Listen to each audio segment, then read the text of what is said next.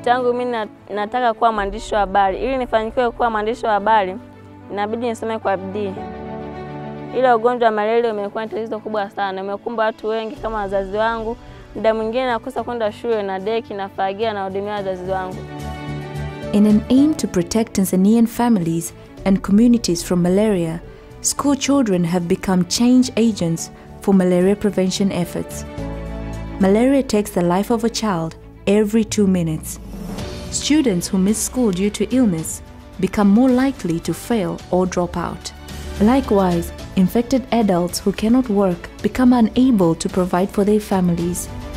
The SchoolNet program, implemented by the US President's Malaria Initiative's VectorWorks project, together with the government of Tanzania through National Malaria Control Program, are working to protect children and their families from malaria. Long-lasting insecticide-treated nets are given out at school to students and are hung over sleeping areas at home to protect women, children, and their families from malaria parasite-carrying mosquitoes. Tangu tumegawea vyandarua hapa shuleni, nahakikisha kuwa mimi na wazazi wangu na wadogo zangu tunalala kwenye chandarua ili kujilinda na ugonjwa wa malaria. Wiki iliyopita nilipopata neti, nilikwenda nyumbani na wazazi wangu kanipokea neti kwa furaha na kuanza kuitundika.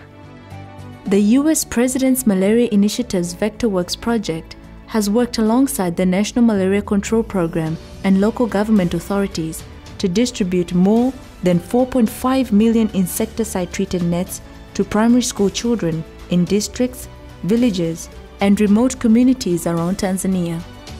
Through a school based long lasting insecticide treated nets distribution approach, school children are championing malaria prevention efforts, proving a point that we should never underestimate the power of the young.